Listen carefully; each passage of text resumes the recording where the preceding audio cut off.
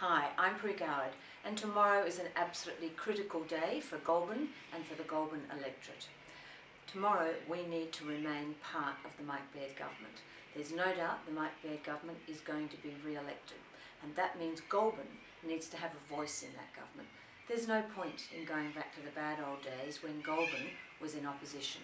You don't get heard, you get zilch. So tomorrow, remember, if you want to be in government, if you want a strong voice in government, you need to vote Liberal National, and that means voting one.